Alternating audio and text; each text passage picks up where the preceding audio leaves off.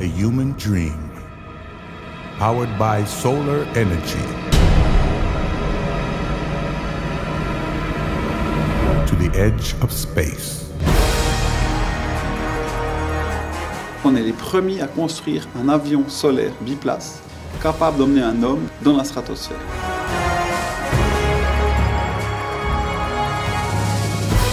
Et lorsque vous êtes les premiers, il faut tracer le chemin, il faut ouvrir les portes. Finalement, la difficulté, c'est de réunir tous ces besoins pour réussir un tel projet. Des besoins techniques, financiers, humains.